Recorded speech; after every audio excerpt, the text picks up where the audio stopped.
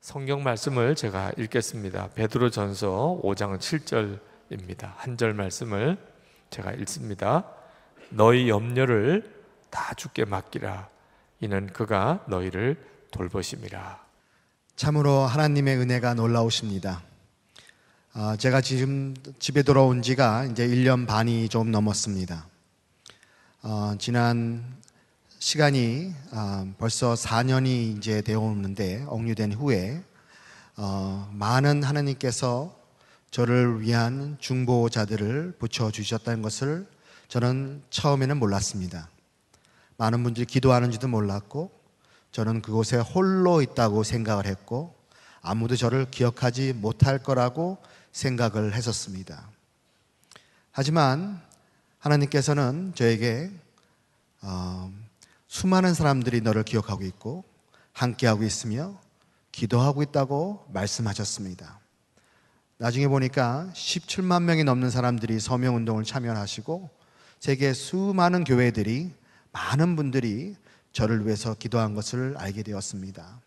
오늘 제가 이 자리에 서서 우리 선한 음, 목자 교회의 많은 성도님들이 저를 위해서 기도한 것을 제가 보면서 하나님의 은혜가 얼마나 놀라운지 또 제가 얼마나 감사한지 모르겠습니다. 이 자리를 빌어서 지금까지 저를 위해서 기도해 주시고 함께 서줘 주셨던 그 모든 분들에게 다시 한번 진심으로 감사를 드립니다.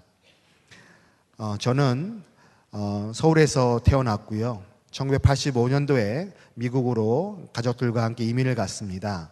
그때 가서 제가 거기서 고등학교와 대학교를 마치고 나중에는 어, 신학교를 가고 어, 이런 과정들을 겪게 되었습니다.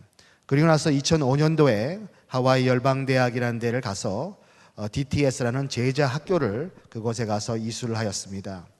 그때는 저한테 가장 어, 시기적으로 가장 어려운 시기였으며 하나님 앞에 어떻게 무엇을 해야 될지 알지 못했고 단지 가서 치유받고 다시 하나님께 나아가기 위해서 그 과정을 택하게 되었습니다. 그곳에 하나님께서 만나 주시고 회복해 주시고 저한테 주셨던 사명을 다시 한번 일깨워 주셨습니다. 저는 미국을 이민 가기 전에 1984년도 경에 당시 제가 어, 우리 서울에 있는 남서울 교회의 어, 중등부 고등부 학생이었습니다. 그때 수련회를 통해서 어, 하나님께 역사하셨을 때 제가 주님한테 물었습니다. 주님, 제가 크면 뭐가 돼야 됩니까? 하고 물었더니 주님께서 딱 한마디만 하시더라고요. 목자라고 하셨습니다. 그래서 저는 그것이 목사나 선교사라 것이다 하는 생각을 갖게 되고 이제 앞으로 그러면 어 이제 신학대학도 가고 신학원도 가야겠구나 하는 마음으로 있었는데 하나님께 저를 어 여기서 공부를 안 시키시고 미국으로 이민을 보내서 공부를 시키셨습니다. 그리고 고등학교를 졸업하고 어 CCC라고 대학교 선교회에서 하는 어 선교 집회 그리고 또 부흥회 내지 어, 수련회를 참여하게 되었는데 그곳에서 마침 창설자이신 비율 브라이트 박사님이 어, 한 저녁 때 말씀을 나누시는데 중국에 대해서 말씀하셨습니다. 중국이 당시까지 하더라도 어, 그렇게 열려 있지 않은 상황이었습니다. 그래서 중국에 앞으로 헌신하고 선교사가 될 사람들 앞으로 나오라고 그렇게 권면을 하셨습니다. 근데 제가 그 집회의 맨 뒷좌석에 앉아 있었는데 저도 모르게 벌떡 일어나서 앞으로 걸어 나가서 제가 처음으로 어, 단에 올라가는 일이 있었습니다. 그때 저를 위해서 기도해 주시고 축복해 주시면서 중국 선교의 꿈을 꾸게 하셨습니다. 그렇지만 제가 인생의 다른 역경을 겪으면서 다른 길로 갔다가 나중에서야 몇 년이 흘러나서야 신학대학을 가고 대학원을 가며 다시 하나님께 나아갔지만 또 다른 인생의 풍파 속에서 갈팡질팡할 때 무엇을 할지 모를 때 주님께서는 저를 하와이 열방 대학으로 보내셔서 어, 다시 한번 주님의 음성을 듣게 하십니다. 그때 주님이 이렇게 말씀하셨습니다. 먼저 너의 먼저 나의 나라와 나의 의를 구하라. 그러면 내가 너에게 모든 것을 더하여 주리라. 그러면서 첫 번에 하나님의 첫사랑 특별히 하나님께서 중국에 대한 소명을 주신 것을 그때 다시 한번 말씀해 주셨습니다. 그래서 제가 전도 여행지로 어, 중국을 선택하게 되었고요. 중국으로 2005년도에 전도 여행을 가게 됩니다. 그 다니는 기간 동안에 처음으로 단동이라는 지역을 가보게 되었습니다. 단동은 신의주가 마주보고 있는 중국 적점 지역입니다. 그곳에는 북한 사람들이 가장 많이 거주하고 있는 곳이기도 합니다. 북한을 벗어나서 여러 사는 삶 중에 단동에 제일 많이 거주하고 있고요. 또 거기에는 북한과 중국을 연결하는 다리가 있고 그 다리를 통해서 어, 물자의 한 80%가 어, 단동을 통해서 북한으로 흘려 들어가게 됩니다. 그곳에서 사역하시는 선교사님을 만났습니다. 그 선교사님이 양육하고 있었던 두 북한 분도 처음으로 제가 만날 수 있게 되었습니다. 한 분은 약 30세쯤 되신 분이었는데 어, 여자분이었고요. 이분이 예수 믿은 지 약 3주 되었다고 말씀하셨습니다. 3주 되신 분한테 이런저런 얘기 하다가 자, 그럼 우리가 어떻게 자매님을 위해서 기도해 드릴까요? 하고 얘기를 하니까 이분이 하신 말씀이 어, 저를 위해서 기도하지 마세요. 저는 벌써 예수를 알지 않습니까? 저 조국에 있는 동포들을 위해서 기도해 달라고 부탁하는 것이었습니다. 저는 그래서 깜짝 놀랐습니다. 얼마나 필요한 것도 많을 것이고 어, 두고온 식구들도 있을 텐데 어, 제가 예수를 가졌는데 내가 또 무엇이 필요합니까 하는 그의 대답에 깜짝 놀란 것이었습니다. 또 다른 한 분은 50대 아저씨였습니다.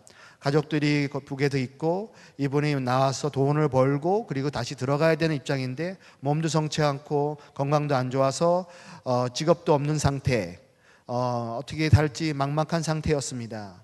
이분이 예수 믿은 지 한 달 됐다고 얘기하시더라고요. 그래서 제가 물었습니다. 예수님 믿으시니까 좀 어떠세요? 하고 얘기하니까 이분이 말씀이 그전에는 살 소망이 없었는데 이제는 소망이 생겼습니다. 하고 얘기하는 것입니다. 예수가 소망이다 하고 얘기하시는 것이었습니다. 저한테는 한 분은 내가 예수를 아는데 이제 더 뭐 필요합니까 하는 시는 말씀. 또 한 분은 이제 예수가 소망이라는 말씀을 하는데 제가 깜짝 놀랐습니다. 제가 평생 교회에서 살았지만 누구 한 명도 예수가 나의 소망이라고 말한 사람을 본 적이 없었기 때문입니다. 그 다음날 압록강 지류를 따라가면 작은 색강들이 있는데 그곳에서 배를 타고 이렇게 북한 쪽으로 넘어가서 거기에 배를 기스게 되고 있으면 군인이 나와서 얘기를 할 수 있다는 얘기를 듣게 되었습니다. 보통 아마 관광객들이 낮에 가는 코스였나 본데 저희는 도착한 시간이 저녁이 된 상황이었습니다. 깜깜한 어둠 속에서 이 배를 타는 게 맞는지 안 맞는지 몰라서 우리 같이 기도했습니다. 기도하면서 다음에도 타야 될 것 같아서 저희가 밤이 늦은 시간이었지만 배를 타고 진짜 한 20분을 정도로 내려가다가 어, 그 북한 쪽에다 배를 댔습니다. 그리고 정말 어, 중국말로 뱃사공이 뭐라 뭐라 하니까 조금 있으니까 진짜 북한 군인이 나오는데 저희한테 총을 겨누고 나왔습니다. 아, 굉장히 섬뜩하죠. 깜깜한 어둠 속에 총을 겨눈 북한 병사가 저희한테 나왔습니다. 제가 그래서 뱃머리에 있었기 때문에 제가 그냥 안녕하세요 하고 얘기를 했습니다. 그랬더니 이분도 한두 마디 하시더니 이렇게 물어봐요. 혹시 돈 좀 가져온 거 있습니까? 그러더라고요. 총 들고 있는 사람이 돈 달라 그러면 줘야 되는데 그날따라 제가 죄송합니다. 가져온 게 좀 없습니다. 했습니다. 근데 그러면 이 사람이 그러니까 혹시 그러면 담배는 가져왔습니까? 그러더라고요. 그래서 담배도 준비를 못했습니다. 하지만 준비한 게 좀 있는데요 하면서 빵이니 과자니 사과니 미국에서 가지고 간 육포니 이런 것들을 내놨습니다. 그랬더니 이분이 고맙다고 이렇게 얘기를 하더라고요. 몇 마디 하다가 다시 이제 어둠 속으로 뒤를 돌아서 사라지는데 그때 저한테는 하나님의 음성이 들렸습니다. 이 병사가 필요한 것은 돈도 아니고 담배도 아니다. 바로 예수 그리스도다. 예수만이 길이요 진리요 생명이다. 예수를 통하지 않고는 그 누구도 하나님 아버지께 갈 자가 없다고 말씀하셨습니다. 저는 그 뱃머리에 서 있으면서 그 돌아서서 사라지는 그 군인을 보면서 저도 모르게 이렇게 기도하게 되었습니다. 주님, 제가 무엇을 할 수 있을지 알지 모르지만 저를 북한과 어, 외부 세계를 연결하는 다리로 사용하여 주시옵소서. 저를 사용하여 주시옵소서. 그것이 2005년이니까 딱 11년 전의 이야기입니다. 그리고 나서 2006년도에는 하와이 열방대에 가서 간사로 섬기다가 이제 파송을 받고 이제 중국으로 나오게 되었습니다. 저는 전도 여행 팀을 데리고 나왔습니다. 그리고 전도 여행이 끝난 다음에 제가 물었습니다. 혹시 저랑 남아서 이곳에서 선교 사역을 개척할 사람 있으면 남아 주셨으면 좋겠습니다. 기도하더니 저희 팀의 70%가 남기로 결정을 했습니다. 몇 달이든 몇 년이든 하나님 말씀하실 때까지 남아서 선교사님 사역을 돕겠습니다. 그런데 문제가 있었습니다. 저희는 거기 있는 지역이 대련이라는 지역이었습니다. 대련이라는 지역에 저희가 아는 사람이 거의 없었습니다. 그런데 그렇다고 저희가 전문적인 선교 훈련을 받은 것도 아니고 그저 이분들은 학생 이제 졸업한 학생들이고 저는 그저 간사를 조금 해본 사람에 불과했었습니다. 중국말도 제대로 하지 못하고 아는 사람도 없는데 어디서 어떻게 무엇을 할 수 있는지 알지 못했지만 주님이 나무라셔서 남았습니다. 그래서 할 수 있었던 것은 함께 모여 기도하고 예배한 것이었습니다. 주님 무엇을 할지 알려주십시오. 주님 말씀하시는 것에 순종하기 원합니다. 하고 한 두어 달 기도하고 모이고 했더니 하나님께 저희한테 마음을 주십니다. 그러면서 무슨 말씀하시냐면 열방의 젊은이들이 이곳에 오게 될 것이다. 그들이 와서 예배하고 기도하고 그 다음에 머물 수 있는 공간 또 그들이 수많은 중국 사람들 있는 공간을 준비하라. 그래서 집을 찾으라고 하셨습니다. 그 집의 이름을 예수님의 집이라고 붙여주셨습니다. 그래서 저희가 영어로 약자로 제이 하우스라고 불렀습니다. 근데 이제 집을 찾아야 되는데 어디서 어떻게 찾아야 될지 모릅니다. 어, 그래서 저희가 방 두 개짜리 아파트를 봤더니 너무 작습니다. 방 세 개짜리도 작고 네 개짜리도 작고 그래서 저희가 결국은 다섯 개짜리까지 보다가 도저히 안 될 것 같아서 그래서 제가 부동산 전화를 했습니다. 36 개까지 집을 봤는데도 안 되니까 부동산이 도대체 얼마 몇 방이 몇 칸짜리나 봐야 되겠습니까? 그러더라고요. 그래서 제일 큰 집 보여주세요. 그큰 집이 보여준 것이 방 8개짜리, 화장실이 4개짜리 큰 빌라를 보여주었습니다. 가서 보니까 너무 좋아해요. 저 예배할 수 있고 기도할 수 있고 공, 저 뭐야 다락방이 있어서 어, 저 기도할 수 있고 친교할 수 있고 한 3, 40명이 잘 수 있는 그런 큰 공간이 있는 곳이었습니다. 그런데 가격이 굉장히 비쌌습니다. 저한테는 300불이 있었습니다. 1년치 집세가 2만 4천 불 정도 되는 곳이었습니다. 그것을 300불을 들고 갔으니 부동산이 알았으면 얼마나 놀랬겠었습니까? 그래서 그때 주인한테 묻기 전에 제가 주님한테 물었습니다. 주님은 이 집을 얼마에 하시겠습니까? 왜요? 집, 집값을 주인이 내지 제가 냅니까?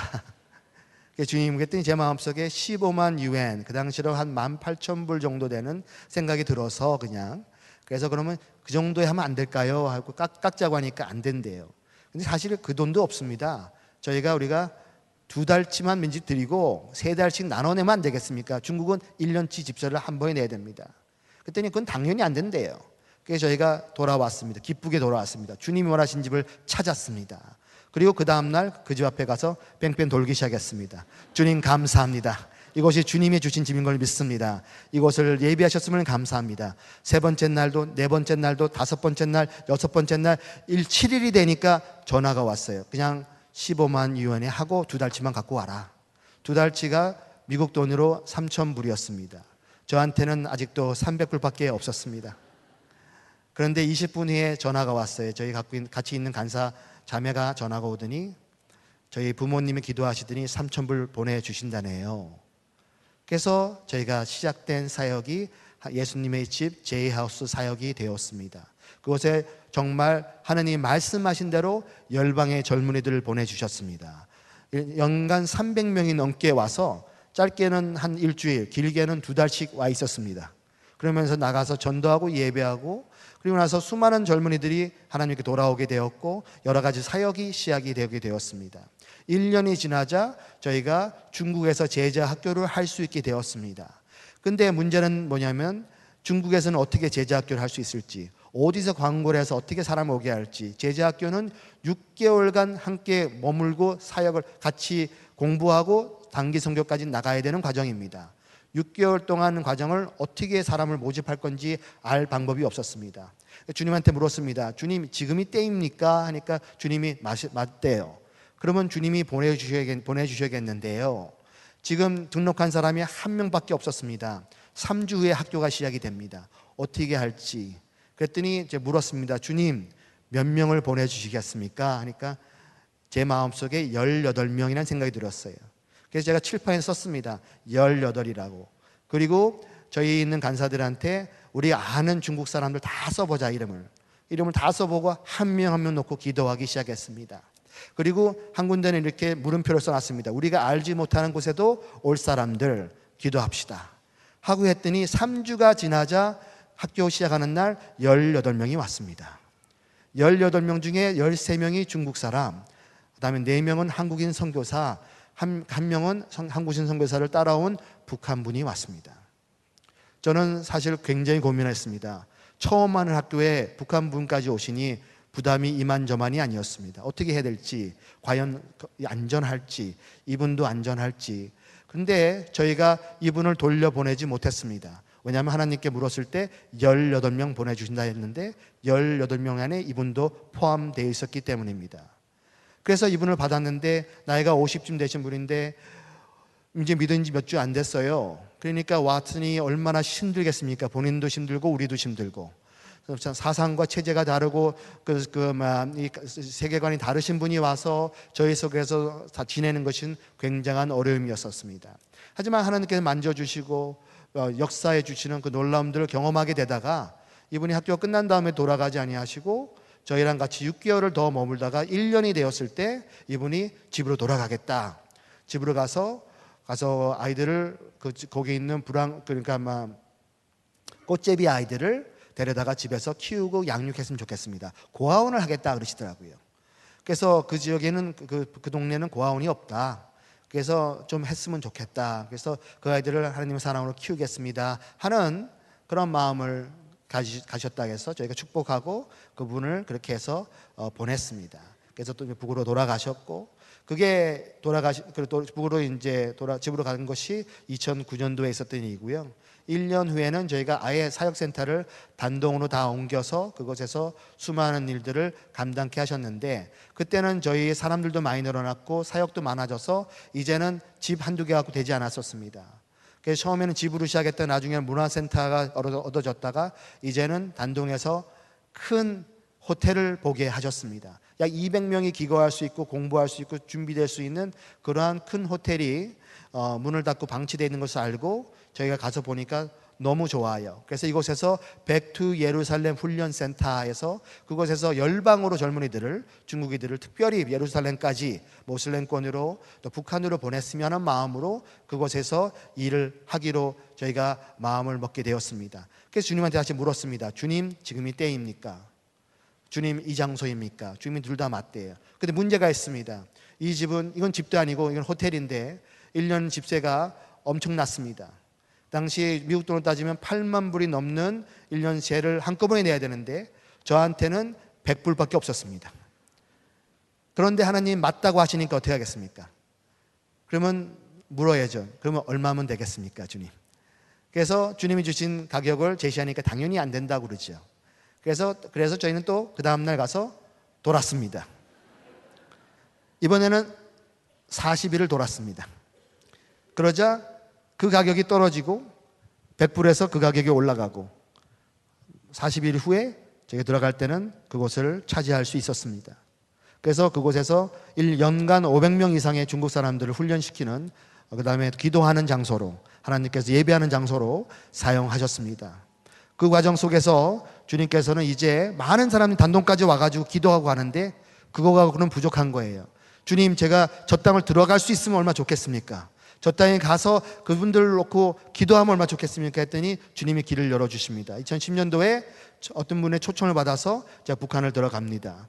들어가서 보니까 바로 라진 선봉이라는 데 가보니까 이제 막 그 지역에 서방 사람들을 위한 관광의 길이 막 열렸다고 얘기를 들었습니다. 그래서 제가 그랬습니다. 문화교류 회사라는 걸 통해 가지고 수많은 사람들이 단동까지 오는데 북한을 들어가 보고 싶어 하는데 제가 좀 데려오면 안 되겠습니까? 했더니 가능하대요. 그러면 한번 그걸 상의하기 위해서 한번 들어와라 그러더라고요. 초청장을 받아서 이번엔 저와 제 집사람과 또 다른 부부가 네 사람이서 저희가 그냥 들어갔습니다. 2박 3일 동안 있으면서 이런 거 저런 걸 다 보니까 어, 괜찮을 것 같아요. 그래서 제가 물었습니다. 저희는 조금 다른 관광을 했으면 좋겠습니다. 일반적인 관광 외에도 어, 저희는 문화교류 회사다 보니까 문화교류 할 수 있는 관광을 하게 해주면 좋겠다. 뭘 하고 싶냐? 그렇게 물어보더라고요. 그래서 제가 그랬습니다. 저희는 학교에 가보고 싶습니다. 학교에 가가지고 우리가 영어로 중학교 고등학교 애들하고 대화해보는 일을 하면 좋겠다. 우리가 어, 이 중국에서 그런 일들을 많이 하는데 굉장히 좋아합니다. 아이들이 했더니 마침 그 사람들이 우리도 외국인 주- 외국어 중학교가 있는데 영어 반도 있고 중국어 반도 있다. 가능하다 하는 거예요. 가서 보니까 이 애들이 한 번도 외국 사람들하고 영어로 한마디 해본 적이 없어요. 가 보니까 처음에 가서 hello 하니까 hello는 해요. 근데 그, 그 이상은 좀 어려워하더라고요. 근데 그 길이 열렸다는 것입니다. 그래서 좋습니다. 그러면 우리가 장마당을 좀 가게 해주십시오. 시장인데 거기 가보면 라진시에 있는 한 가정이 한 명씩은 다 나와 있는 것 같습니다. 수천 명이 나와서 물- 물건을 팔고 있는데 이, 이, 이 장마당이 굉장히 큰데 장마당 들어오는 어귀에는 장마당에 들어오지 못하고 판매하는 분들이 계십니다. 이분들은 아주, 아주 그냥 연세 많으신 할머니들 채소 몇 개 갖고 와가지고 장마당 어귀에 왜냐하면 들어오면 그 자릿세를 내야 되니까 그 밖에 앉아 계시는 분들부터 이제 장마당 어귀에 들어오면 그 문 앞에서 그 뻥튀기를 파는 할머니들이 쭉 서 있습니다.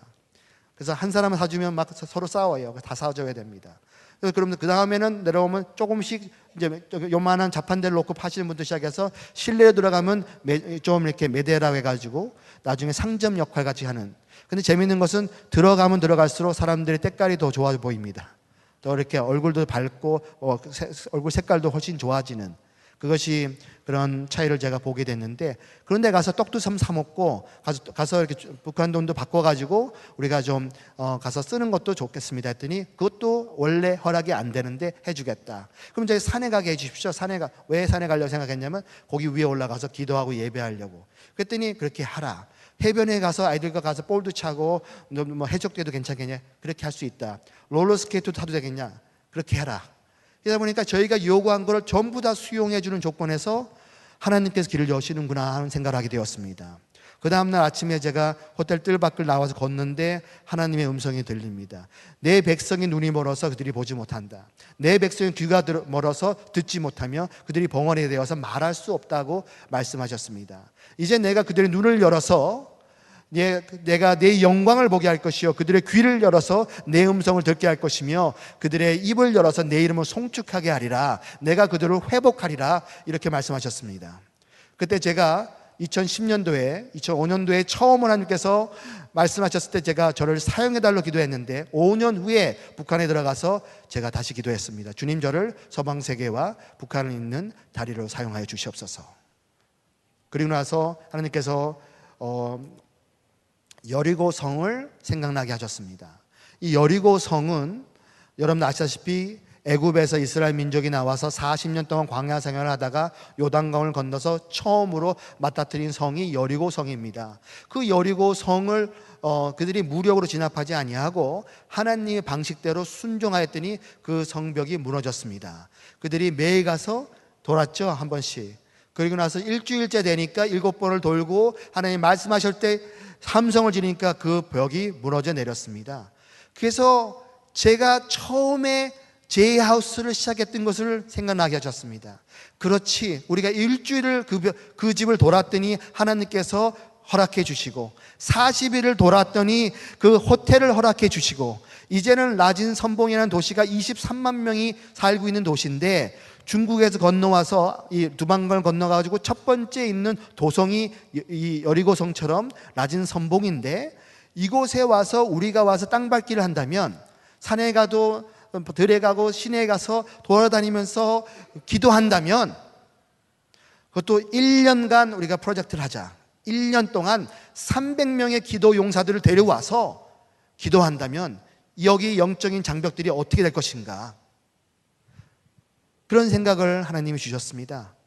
그래서 제가 이름을 여리고 프로젝트, 여리고 작전이라는 이름을 쓴 것이 나중에 문제가 되었습니다만은 그것을 하나님이 생각나게 하셨습니다. 기쁜 마음으로 돌아와서 세계 다니면서 호설했습니다. 우리 북한 가십시다. 그래서 제가 그랬습니다. 남한 여권, 우리 대한민국 여권을 제외한 모든 다른 사람들은 다 갈 수 있습니다. 우리 그래서 네 가지 하십시다. 첫째는 가서 보십시다. 백물이 불효일견이라고 많은 선교사님들이 얘기를 듣는 것까지는 좋지만 본인이 직접 들어가서 눈으로 보고 체험하고 사람들을 만나보고 경험하는 것이 굉장히 소중합니다. 그리고 가서 하나님의 음성을 들어보십시다. 그것이 첫 번째. 둘째는 가서 기도하십시다. 우리가 그들을 위해서 기도를 물론 밖에서도 할 수 있습니다. 하지만 그곳에 가서 기도할 때 그 상을 성벽이 무너졌듯이 라진을 위해서 우리 기도하십시다. 어둠의 장벽이 무너지고 하나님의 예배가 회복되고 사람님 사람들이 하나님께 나아갈 수 있도록 우리 함께 기도하십시다. 셋째는 가서 기도할 뿐도 아니라 가서 예배하십시다. 하나님은 북한에서 예배받기 원하십니다. 그곳에 예배가 없기 때문에 우리가 성교하는 것입니다. 성교사님들이 예배, 성교하는 일은 간단해요. 하나님을 아는 사람들이 그곳에서 예배하기 위해서 성교하는 건데 그들이 예배하지 못하기 때문에 우리 믿는 사람들이 가서 예배하십시다. 하나님은 예배받기 원하신다는 것입니다. 그 땅에서 예배받기 원하시는데 우리끼리 가서 성경 말씀을 보고 찬양하고 예배하고 기도하는 것은 괜찮습니다. 크리스천들이 가는 것까지는 괜찮습니다. 우리가 가서 전도하거나 성경을 나눠주거나 그들에게 그런 행위만 하지 않는다면 그들이 허용합니다. 그렇기 때문에 우리 그틀 안에서 우리 움직이십시다. 우리가 할 수 있는 걸 하십시다. 넷째는 그리스도의 사랑으로 사랑하십시다.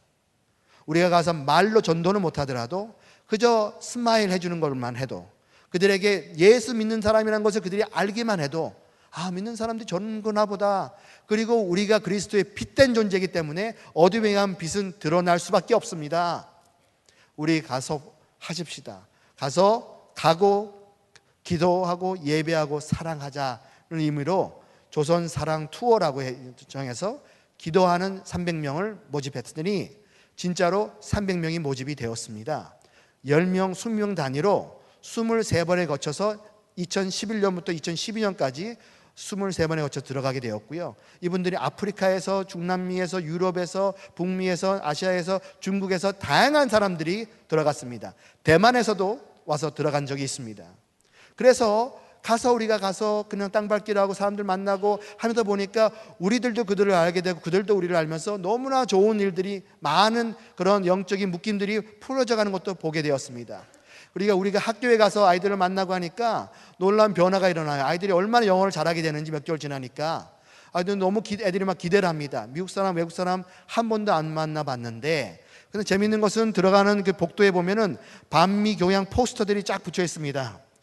예, 미제 침략주를 소멸하자 뭐 이렇게 돼 있고 미국 사람들을 이렇게 뿔을 이렇게 해놨어요. 그래가지고 마귀처럼 빨갛게 그려놓고 그랬는데 우리가 가서 그냥 가서 한 시간 두 시간 얘기하고 애들하고 놀아주니까 그런 것들이 하나씩 두 개씩 없어지는 것들을 봤습니다. 우리도 사람이고 그들도 사람이고 똑같은 우리 사람들이 있고 똑같은 어려움이 있고 걱정이 있고 힘듦이 있고 아이들은 똑같은 고민하고 이런 것들을 우리 사람 나누면서 어떤 분들은 너무 좋아가지고 두 번, 세 번 가신 분도 있습니다. 1년 사이에. 그 애들 또 만나고 싶다고. 이렇게 하신 분들도 있었습니다. 그런데 우리가 영적 전쟁을 하러 들어갔기 때문에 그쪽에서도 영적 전쟁의 반격이 있을 거 아닙니까? 그러니까 갑자기 멀쩡한 버스가 그 빵꾸가 나가지고 기차를 놓친 적도 있고요. 그리고 어떤 분들은 아프기도 하고 여러 가지 어려움들이 있게 되었습니다. 한 번은 제가 다섯 명의 미국 목사님들을 모시고 갔는데 이번에는 청진과 칠보산까지 내려가게 되었습니다. 처음으로 미국 목사님들이 칠보산의 그 꼭대기에 서가지고 기도하겠습니다. 하나 하나님의 은혜요 찬양하고 기도하고 성령 충만해서 그곳에서 하나님의 그막 이렇게 찬양하면서 내려오는데 운전 기사가 졸았습니다. 그래서 낭떠러지로 버스가 떨어지는데 간신히 비켜나가서 고랑으로 처박혔는데 이 버스는 완전히 박살이 났습니다. 그런데 한 명도 안 다쳤어요. 그래가지고 그 앞에 그거를 보통 이렇게 하면 이제 우리를 감시하냐고 한 명이 따라가는데 그 사람이 맨 앞에 있었거든요.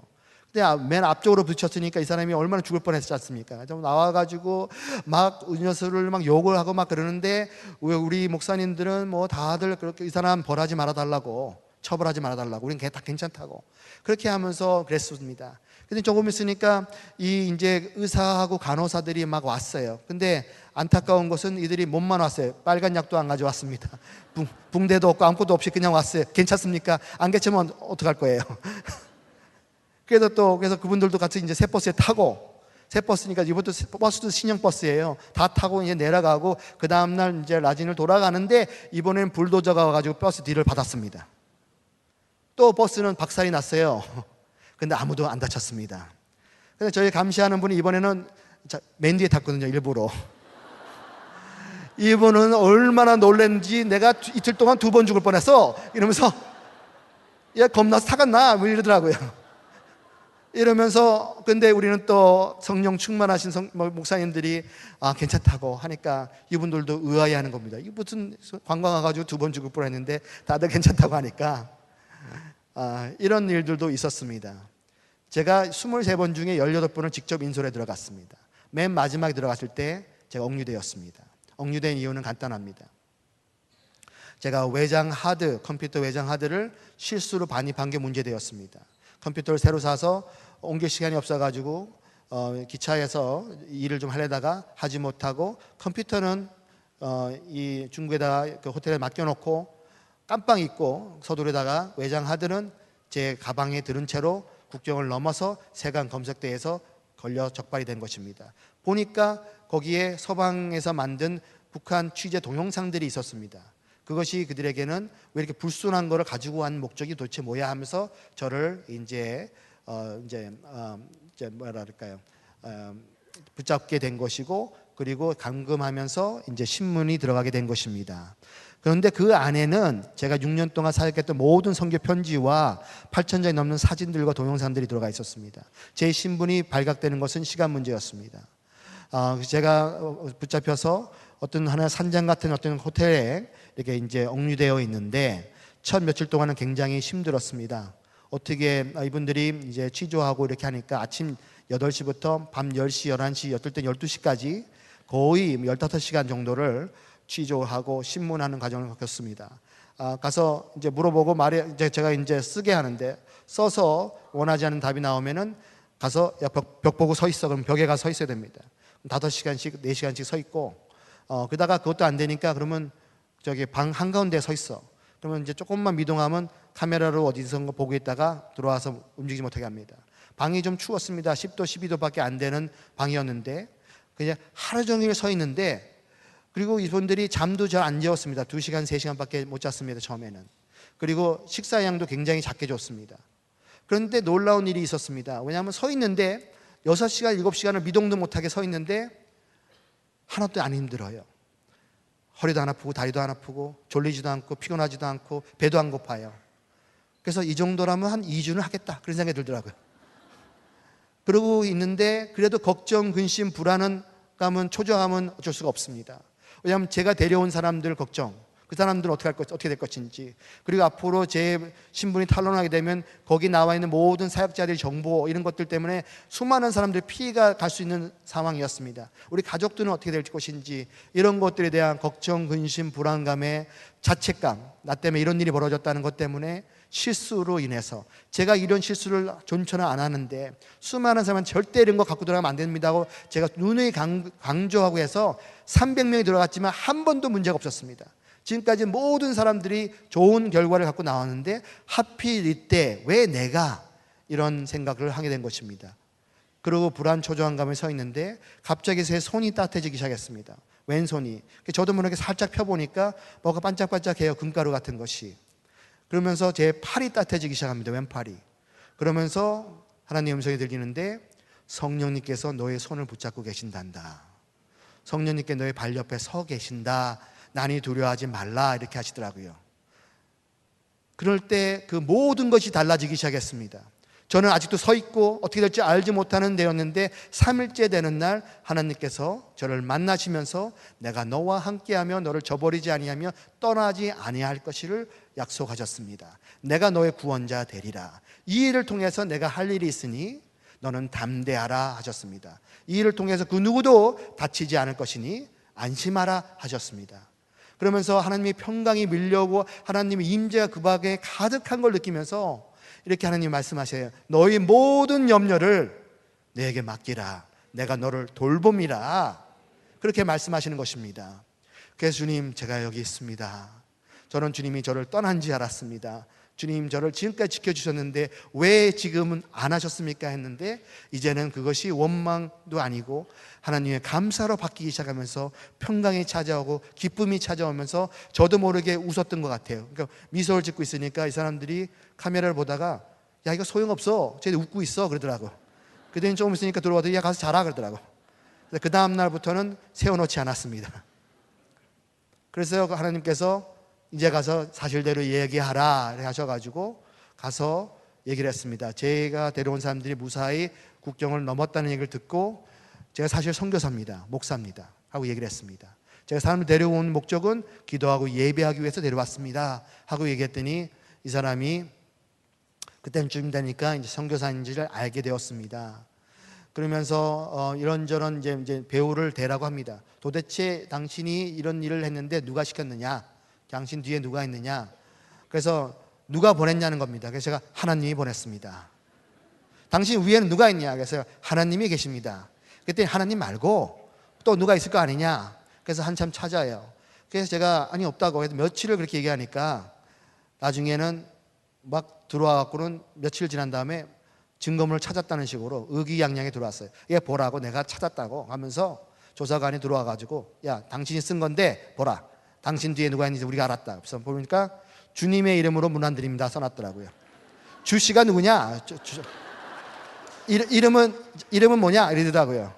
주 예수 그리스도입니다. 했습니다. 그랬더니 긴가민가 해요. 진짜인지 아닌지. 그렇게 모릅니다. 주님이 주시라고 생각을 한 것 같아요. 예. 그러면서 저한테 뭐라고 얘기를 하냐면은 당신이 한 일은 국가 전복 음모죄에 해당이 된다. 그래서 제가 아니 무슨 국가 전복 음모를 제가 했습니까? 그랬더니 기도와 예배로 그러더라고요. 그래서 제가 아니 하나님도 안 믿으시는데 왜 기도의 힘을 믿으십니까? 그랬어요. 우리 믿는 사람보다 더 믿음이 좋으십니다. 그랬더니 그래서- 제가 그때 되니까 이 이제 제가 훈련시켜서 보냈던 북한 사람도 찾아냈습니다. 제가 얼마나 걱정했는지 몰라요. 근데 이분이 들어와서 얼마 안 돼서 자수를 했다고 합니다. 그러면서 용서를 받아서 잘 살고 있었다고 하는데 제가 들어감을 통해서 다시 조사를 받게 되고 나중에 이분이 제 재판의 증인으로 나왔습니다. 그리고는 집으로 돌아갔다는 얘기를 들었습니다. 하나님께서 약속하신 것처럼 그 누구도 다치지 않을 것이다고 하신 것이 이루어진 것이라고 저는 믿고 있는데 그 당시에는 몰랐습니다. 어떻게 될지도 모르고 걱정됐었죠. 그래서 제가 얘기를 했습니다. 아니 이 사람이 돌아와서 고아원을 하려고 시도했다가 시작도 못했는데 그게 무슨 국가 전복 음모랑 상관이 있습니까? 했더니 이런 얘기를 하더라고요. 한 사람이 하나님 믿고 돌아와가지고 10명을 예수 믿게 만들어 놓으면은 애들 10명이 예수 믿으면 10명이 나중에 100명 되고 100명이 만 명 될 거 아니냐. 그러면 그들이 그때 되면 위협이 되겠어? 안 되겠어? 그러더라고요. 그래서 제가 될 수 있겠죠? 했더니 그거 보라.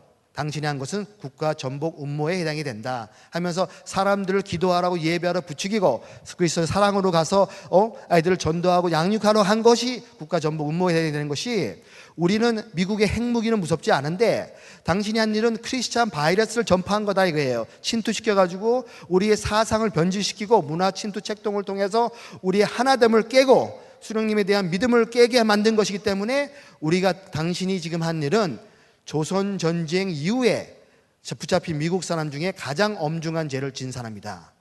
그래서 당신은 앞으로 받을 수 있는 형량은 딱 두 가지 사형 내지 무기징역에 해당된다 이렇게 얘기합니다. 근데 그 얘기를 하는데 저는 그것이 하나님의 음성을 들립니다. 한 사람이 세상을 변화시킬 수 있다는 겁니다. 기도할 때 그것이 변화될 수 있다는 것입니다. 그것이 하나님께서 나를 보내신 목적이었구나 하는 것을 그때 저는 생각하게 되었습니다. 하지만 제 신변은 어떻게 될지 몰랐습니다. 그런데 한 달 후에 한 달 동안 취조가 끝난 다음에 나중에는 이제 어, 평양으로 이송이 되고 4개월 반 동안 예심 과정을 갖게 됩니다. 예심이라는 것은 사전 심리 절차입니다. 재판받기 전에 검사가 들어와서 물어보고 나가고 물어보고 나가고 이런 식으로 하는데 하루 종일 앉혀놓습니다. 아- 아침부터 밤까지. 근데 의자에 근데 저희가 처음에 가져갔던 성경이 있었습니다. 그래서 그 성경을 달라고 했더니 그때는 성경을 돌려줬습니다. 시간이 많이 있으니까. 그래서 제가 이 성경책을 갖고 갔는데 NIV 미국 성경과 나중에 저희 집사람이 한국어 개혁 성경을 보내줬습니다.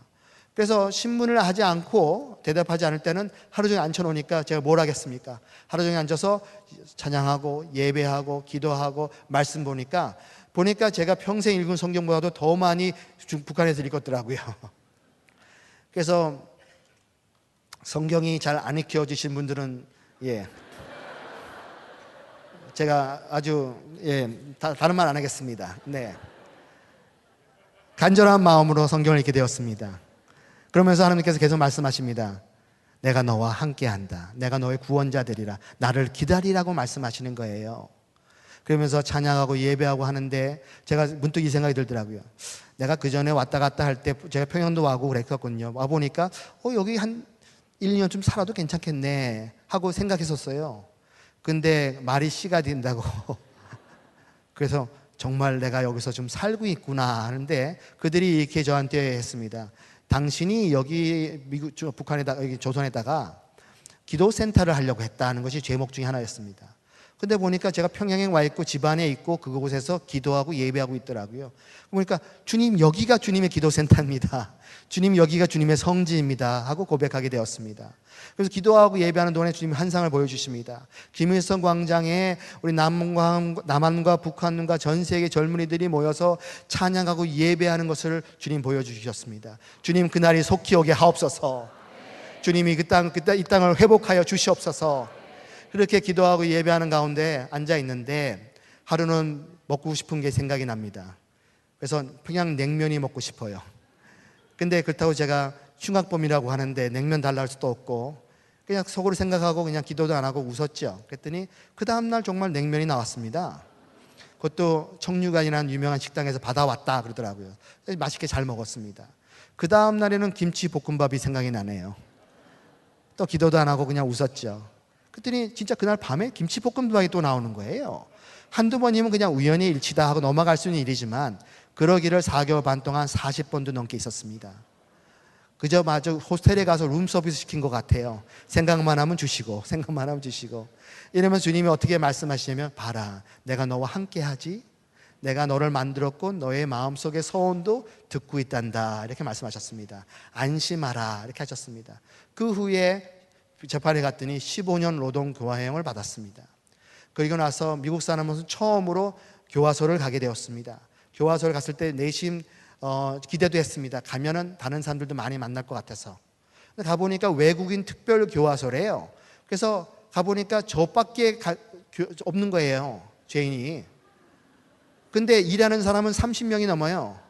그 사람들 다 뭐 하는지 그래서 관심을 얼마나 많이 받았겠습니까? 미국 놈 처음 왔다고.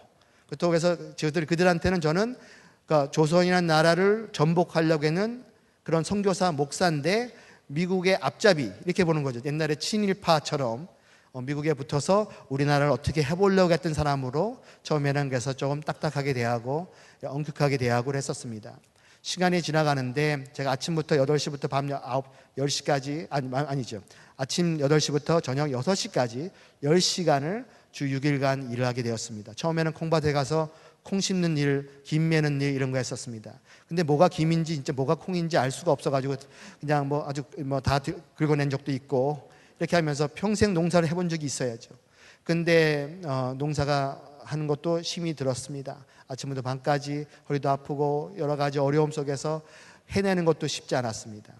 나중에는 어, 겨울철에 됐을 때는 뭐 석탄 이게 어, 가루를 석탄 재를 가루로 내는 일, 땅을 파는 일, 돌을 날르는 일, 그래서 사실상 중노동을 하기는 했습니다. 그러면서 그런 과정 속에서 제가 할 수 있었던 것은 하루하루를 주님께 의탁하는 일이었습니다. 주님 저와 함께 하심을 고백합니다 하면서 전신 갑주를 입어야 됐습니다. 그래서 제가 성경을 아침에 보고 기도하고 오늘 하루를 주님 앞에 의탁합니다. 길게 볼 수 없어요. 하루하루씩 주님 앞에 부탁하는 일. 제가 일주일 단위, 열흘 단위로, 한 달 단위로 달력을 만들어서 하나씩 체크합니다. 이제 다음 달에는 가겠나. 그러면서 체크하면서도 하루하루를 주님에 의탁하면서 나가서 일을 하니까 이 사람들이 점점 좀 지나면서 좀 이상하대요. 뭐가 이상합니까? 했더니 우리가 간수고 당신이 죄수인데 왜 당신이 더 행복해 보이느냐 그러더라고요. 당신이 갖고 있는 그 기쁨과 소망은 어디서 나오나 그러더라고요. 제가 하나님으로부터 나옵니다. 했습니다. 그러면서 나중에 그곳에 있으면서 제가 보니까 27kg가 빠졌습니다. 그래가지고 영양실조가 돼서 병원으로 옮겨졌고 병원으로 옮겨진 다음에 한 달쯤 지났는데 어, 특사가 오기로 돼 있었는데 하루 전에 취소됐다는 얘기를 듣게 되고 낙심이 되었습니다. 그 후에 바로 이제 백악관에서 비밀 특사가 또 왔습니다. 저를 만났는데 5분간 만나면서 미안하다고 갔어요. 가슴이 무너지죠. 지금까지 모든 사람들이 최장기가 5개월밖에 없었는데 저는 1년이 됐는데도 특사가 와서도 못 데려가니 어떻게 하겠습니까? 그랬는데 그리고 나서 이제 저희 어머니의 편지를 하나 받게 되었습니다. 어머니가 이렇게 말씀하시더라고요. 지금은 다니엘의 세 친구의 믿음이 필요한 때 같다. 우리 하나님께 능히 우리를 구원할 수 있지만은 그렇게 하지 않을지라도의 믿음이 필요하다. 그래서 제가 알았죠. 집에 못 간다는 거. 그래서 제가 기도했습니다. 주님, 제- 제가 여기 남는 것이 주님의 뜻입니까? 근데 그 대답을 듣고 싶지 않았습니다. 집에 가고 싶습니다. 3주일 동안 고민하다가 제가 병원 침대에 누워서 저 무릎 꿇고 기도했습니다. 주님, 제 마음 아시죠? 집에 가고 싶습니다. 하지만 제 뜻대로 마옵시고 주님의 뜻대로 하옵소서. 저를 사용하여 주시옵소서. 그랬더니 주님의 음성이 들립니다. 내가 너를 사랑하느냐 물으시더라고요. 사랑합니다 했더니 그러면 내 양을 먹이라 하시더라고요. 그러면서 저를 그곳에 선교사로 보냈다고 하셨습니다. 내가 너를 죄수가 아니라 아들로 그곳을 보냈다. 내가 너를 저는 어둠에 제가 갇혀있다 생각했는데 빛으로 그곳을 보냈다고 말씀하셨습니다.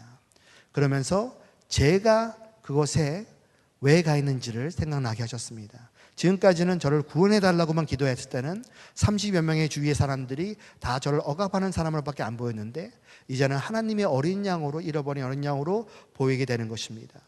그러면서 제가 주님 길을 열어 주십시오. 사용해 달라고 기도했더니 한 명한 명씩 마음문을 열게 하시더니 대화가 가능하게 되었습니다. 이런저런 얘기를 하다 보니까 나중에는 뭐 그래서 나중에는 처음에는 103번 이렇게 부릅니다. 103 수인 번호를 그렇게 부르는데 나중에는 혼자 있을 때는 목사님 얘기 좀 하자요. 그러면서 자기 가정 얘기도 하고 뭐 하다 보니까 가정 상담도 해주고 있고 예비 부부 상담도 해주고 있고 아이들 키우는 얘기도 하면서 자녀 교육 상담도 하고 있더라고요 제가.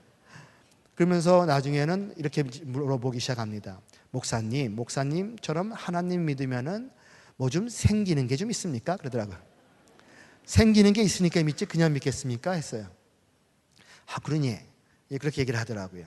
그래서 어, 그 다음에 또 이런 얘기를 했습니다. 목사님처럼 하나님 믿으면 교회에다가 갖다 바쳐야 되는 게 있습니까? 그러더라고요. 그러니까 첫 번째는 혜택이 뭐냐? 두 번째는 대가를 뭐를 지불하느냐를 물어봅니다. 뭐 제가 뭐 11조 얘기도 있었지만 그래도 우리 자신을 하나님께 드리는 것입니다. 하고 얘기를 했습니다. 제가 2년을 못 가고 있으니까요. 한 청년이 저한테 물어봐요. 아니 뭐 하나님 살아 있다며? 하나님 살아 있으면 왜 아직도 여기 있어? 그러더라고요. 기도하면 들어준다며? 그러더라고요. 그래서 제가 하나님의 뜻이 다른 것 같습니다. 하나님의 계획 속에 어, 아마 선생님들 포함되어 있나 보죠 했어요. 제가 아니면 어떻게 이런 하나님 얘기도 듣고 밖에 세상 얘기 듣겠습니까 했더니 맞대요. 평생 들어본 적이 없는 이야기다 하고 얘기를 합니다. 제가 그때 그때 어떤 걸 기억나게 하셨냐면 라진에 처음에 조사받을 때 한 사람이 저한테 묻더라고요. 하느님이라는 말은 들어봤다. 예수란 말은 당신 통해 처음 듣는데 이 예수가 중국에 사냐 조선에 사냐 이렇게 물어보더라고요. 평양에서 태어나서 평양에서 대학 나온 사람이 물어보는 질문입니다. 어떻게 그럴 수가 있습니까? 동방이 예루살렘이었던 그 평양에서 태어난 사람이 예수를 들어본 적이 없다는 것이 지금 북한의 실정입니다. 그것이 얼마나 가슴 아픈 일입니까? 동, 우리가 21세기에 동아시아에 번영하는 동아시아에 예수의 이름을 들어볼 수 없는 땅이 된 것이 북한이 되었다는 걸 알게 되었습니다. 제가 할 수 있었던 것은 그저 하루하루를 주님 앞에 의탁하고 하루하루를 살아가는 것이었습니다. 주님이 이렇게 저한테 말씀하십니다. 아, 내가 너를 그곳에 보냈다고 내가 너와 함께 한다고. 그러면서 저한테 이런 예화를 기억나게 하셨습니다. 인도에 미국에서 한 선교사님이 갔는데 한 부락에 굉장히 그 부족말이 어려워가지고 말을 제대로 배우지 못해서 몇 년을 고민 고민 고생하다가 결국 10년이 돼도 성과가 별로 없으니까 그 사람을 파송교에서 부릅니다. 돌아오라고 실패한 선교사다 그래서 그리고 그 자리에 다른 선교사를 보냈는데 그 선교사님은 언어에 특출한 재능이 있어서 3년만 되니까 말을 잘해서 이제 자신이 생겨가지고 불악에 있는 모든 사람들 다 불러다가 복음을 전했습니다. 복음 전한 다음에 예수 믿는 사람 손 드세요 했더니 모든 사람이 손을 들더라는 것입니다. 그래서 사람이 자기가 뭘 설명을 잘못한지 알고 다시 설명을 설교를 다시 한번 했습니다. 그리고 이제는 이해되셨죠? 예수 드릴, 예수 믿을 사람만 손 드세요 했더니 또 다 손을 들더라는 것입니다. 그래서 사람이 화가 나서 아니 그러지 말고 정말 당신들이 예수를 알기는 알고 손 듭니까 했더니 부족장이 손을 드시더니 예수님께서 10년간 저랑 사셨습니다. 그 말씀을 저한테 교화소에 있을 때 하시는데 제가 이런 생각을 했습니다. 그렇구나. 이 사람들은 예수를 들어본 적도 없고 내가 떠난 다음에 예수를 알 길도 없는데 내가 이곳에 있을 때 내가 그들에게 예수가 되어야 되지 않는가? 작은 예수가 되어야 되지 않는가? 예수께서 하신 말씀, 하신 것이 이들에게 흘러가야 되지 않는가? 그다음부터는 긴박성이 생겼습니다. 이제 얼마 남지 않은 것 같아요, 때가. 이제 갈 수 있는 것 같아요. 그래서 제가 뭐 시간 될 때마다 3시간에 한 번씩 간수들이 바뀌는데 3시간마다 제가 기다립니다. 또 다음, 그 다음에는 누가? 꼭 마치 이발사가 머리 자르면서 30분 동안 앉아있는 동안에 막 얘기할 수 있잖아요. 그것처럼 저는 일하니까 저를 지켜야 되니까. 지키는 사람들하고 제가 이제 한 1년이 넘어간부터는 얘기를 많이 하다 보니까 이 사람들 사정도 알고 우리 사정도 알고 하다 보니까 또 다른 시간이 기다려주고 기다려주고 이렇게 하면서 했습니다. 밤에는 시- 피곤하고 힘들고 어렵습니다. 왜냐하면 모기가 많고요. 그다음 불을 이렇게 켜놓고 자야 되는데 얼마나 힘들지 몰라요. 그런데 어, 전, 자기 전에는 꼭 두세 시간, 두세 시간은 불이 나갑니다. 그러면 자게 해주는 게 아니라 의자에 앉혀놓습니다. 의자에 앉혀놓으면 뭘 해야 되냐면 아, 할수 있는 게 없으니까 밤에 깜깜한데 찬양하기 시작합니다. 찬양을 한, 여러 찬양을 하는데 그 찬양 소리가 쭉다 울려 퍼집니다. 교화 전체로. 거기 는 모든 사람들이 안 듣는 것 같지만 다 듣고 있고요. 안 보는 것 같지만 다 보고 있습니다. 그래서 제가 그때 뭐를 찬양을 많이 했냐면 내 영혼이 은총이 보라 이 찬양을 많이 했습니다. 이 찬양을 보면은 내용이 이렇죠. 내 영혼이, 내 영혼이 은총이 보 중한 재진 벗고 보니 슬픔 많은 이 세상도 천국으로 화하도다. 할렐루야 찬양하세 내 모든 죄 사함 받고 주 예수와 동행하니 그 어디나 하늘나라. 주의 얼굴 뵙기 전에 멀리 배들 하는 나라 내 마음속에 이루어지니 날로 날로 가깝도다. 3절에는 높은 산이 거친 들이 초막이나 궁궐이나 내 주 예수 모신 곳이 그 어디나 하늘나라. 제가 초막이나 궁궐이나 대신에 감옥이나 병원이나 주 예수 모신 곳이 그 어디나 하늘나라 이렇게 불렀습니다. 그들이 보잖아요. 그들은 이 사람 참 이상하다. 나중에는 이런 얘기도 합니다.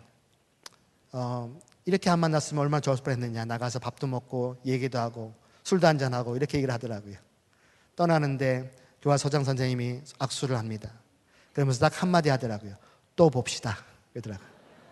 교화소에 교화원으로 보자는 거 아니다 하는 거예요. 그런데 눈물이 글썽글썽하면서 제가 참 감사했습니다.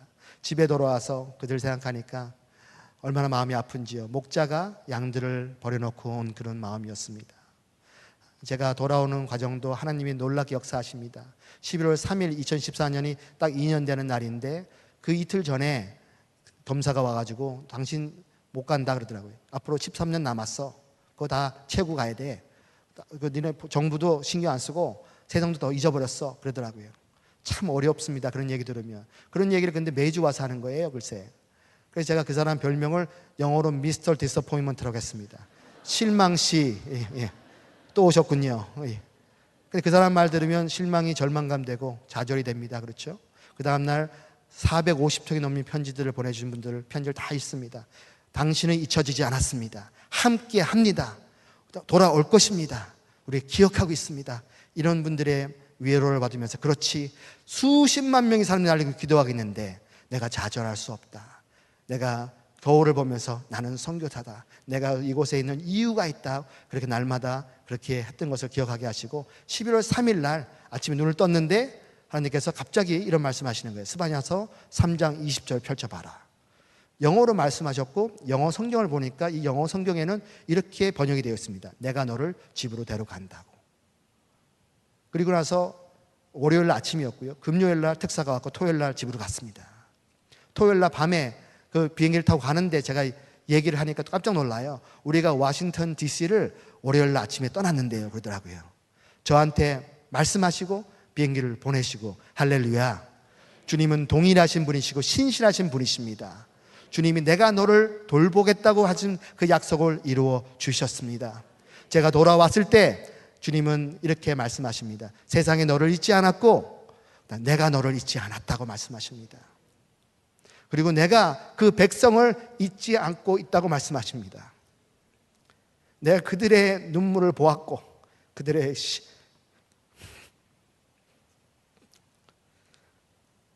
그들의 신음을 들었고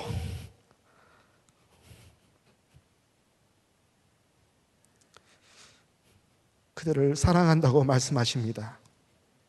내가 그들을 회복하겠다고 말씀하십니다. 그들을 우리 믿는 사람들도 그들을 잊지 말아야 된다고 말씀하십니다. 기억해야 된다고 말씀하십니다. 우리가 그들과 함께 할 때 그들이 주께로 돌아오게 될 것이라고 말씀하십니다. 제가 집에 돌아왔을 때 수많은 사람들이 저를 알아보고 와서는 형제님 당신을 위해서 기도했습니다 하는 분들이 얼마나 많은지 몰라요. 그러면서 함께 했다는 얘기를 한 것을 보았습니다. 여러분, 우리가 북한 동포들을 만났을 때 우리가 그렇게 말할 수 있으면 얼마나 좋겠습니까? 형제님, 자매님, 형제님을 위해서 기도했습니다. 기억했습니다. 우리가 당신을 외면하지 않았습니다.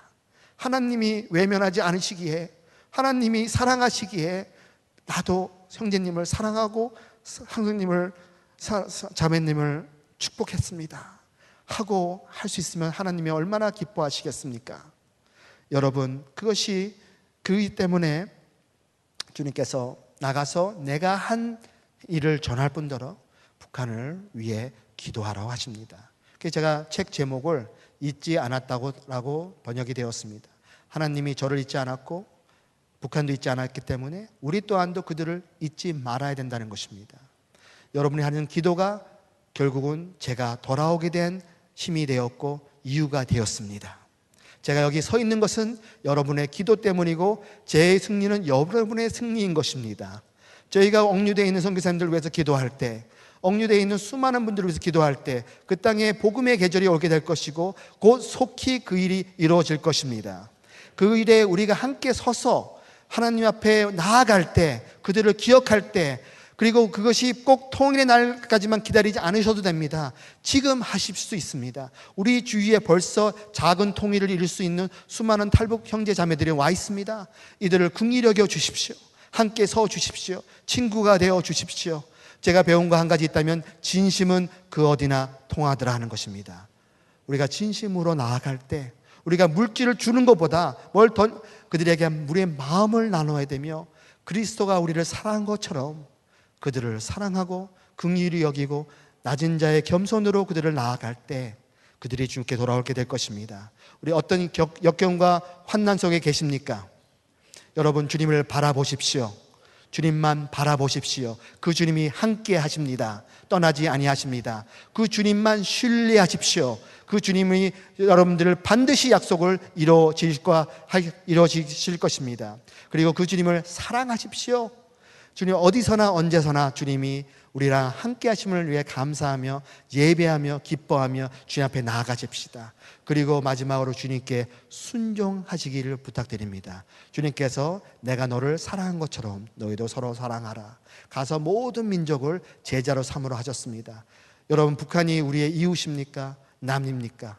아니 우리의 형제 자매입니까? 그들이 외면한다고 외면할 대상이 되지 못합니다. 되서는 안 됩니다. 우리가 그들과 함께 할때 통일을 위해서 평화 통일을 위해서 그들의 그, 그 위정자를 위해서 기도할 때 하나님께서 반드시 그날을 앞다진 것을 믿습니다.